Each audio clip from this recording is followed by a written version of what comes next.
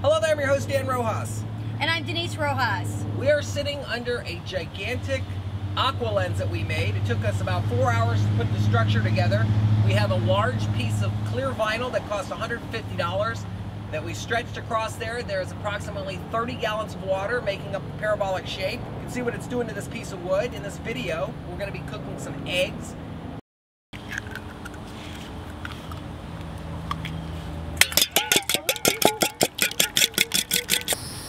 One egg.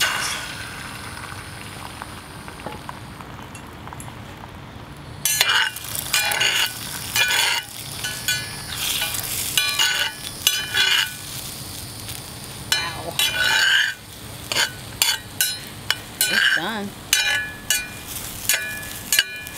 I used some of that non-stick spray. That's awesome. Take a look. This is nine square feet. Unfortunately, we weren't able to fill the entire thing because the weight of the water pulls down. This material is a thicker vinyl. This is about the thickest clear material that you can get. And the weight of the water just prevents you from going much bigger than this. This is about the maximum you can get. If you add more water, all it really does is get deeper and shorten the focal length. I have some metal solder sheets we're gonna put down there.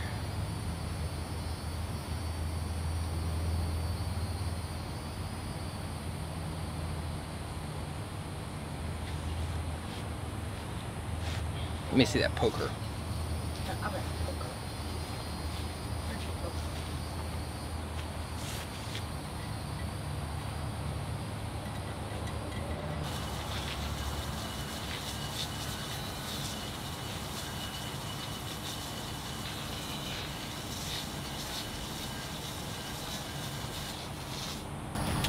And then, wait, hold on. You got grease in your nose. Wow, I don't know what you got in your nose. Don't worry about it. Good. No, Probably my sunburn. it's fine. Perfect. So we're waiting for this cloud to go away. There's a little cloud above us. We've been fighting high cirrus clouds and a few jet contrails. But everything's moving really slow today. Normally the clouds in Florida move a little bit quicker than this. But Still, it's relaxing. On a Sunday? Can't get anything better than this. If you cook with one of these, you want to make sure that your uh, plastic doesn't tear while you're cooking because it could come down and splash oil all over the place. This is not directly, the sun's actually not perfectly overhead this time of year. It's actually just a touch to the south of us. That's very heavy duty vinyl, isn't it? Yeah, that stuff uh, is $150 for that uh, 10 by 15 sheet of vinyl. And there was a huge seam that went down the middle, and I didn't think it would actually work. it's right in the center. I put it all together and I didn't notice it because there was dew all over it. And it turns out that it was right exactly in the middle. So, but it still works.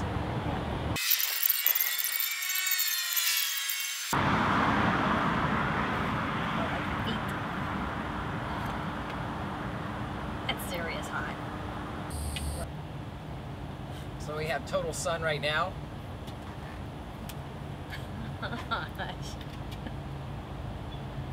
Need to be able to do something with that energy. Roast some marshmallows or anything. I mean, what can we do with that? It's awesome. Cook, cook eggs.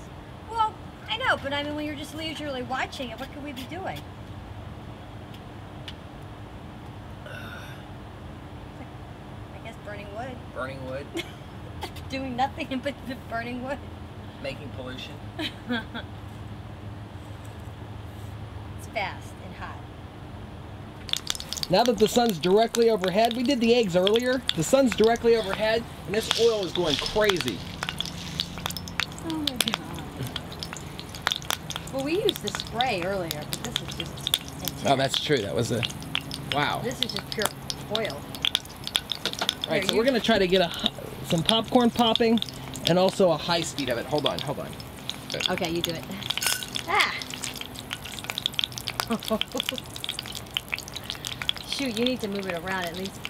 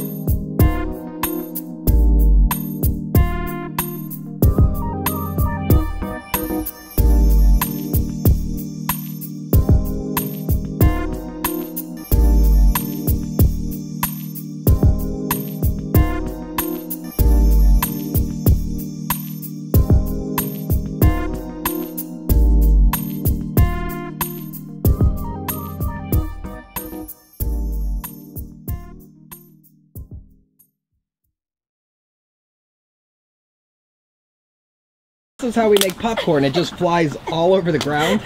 good, collect it. It's Gotta tr- really try not to get blasted with flying oil. It's really perfect popcorn. You could just contain it all together. So we were able to cook four eggs today using the simple water lens. I'm your host Denise Rojas. And I'm Dan Rojas. Thank you for watching and enjoy our videos. So I've got this support beam here to move us to this side. I was trying to get some of the uh, debris out. We're draining this with a siphon. The water coming out of here is, uh, it's actually perfect shower water. It's about 105, 110 degrees. The water didn't get really super hot up there because it is clear.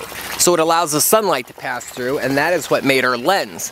If that tarp was black, that 30 or 40 gallons of water would have heated up to 150, 160 degrees. So if you ever want to make a solar shower like this, you could line this with a black dark tarp.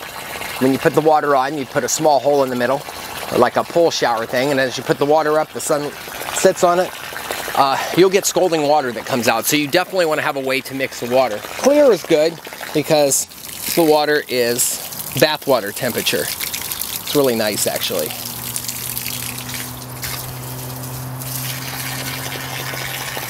We're supposed to be getting some thunderstorms, so I didn't want these to get overfilled. Curious to see what two or three inches of rain does to these. Gonna try to get some of that debris that's in there out too.